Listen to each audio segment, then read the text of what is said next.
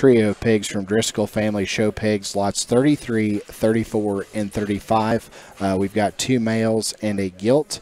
Uh, this is the dash one, eight dash one. Uh, no comparison. Uh, bow before me, uh, and uh, boy, one that uh, gives you a great look from the side and still offers that density that we're looking for in 2022. Yeah, really neat color pattern there on that on that barrow, and then uh, from a bone and feature standpoint, I mean, as, as good as anything that we've seen thus far. I mean, that's that's a very very high quality uh, male pig right there from Driscoll.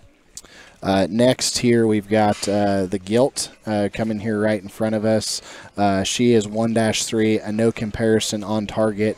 Uh, also from Driscoll, a, a neat little belted rig here. Uh, gives you a great look from the side, a great rib shape, and boy, one that still offers some mass and dimension as well. You bet.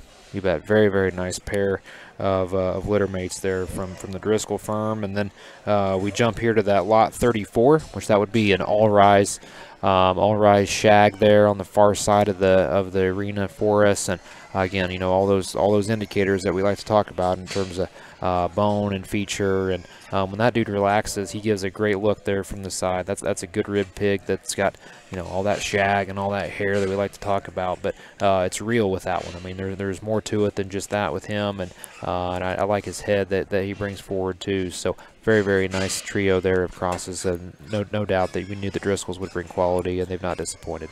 Lot 33, 34, and 35 from Driscoll's.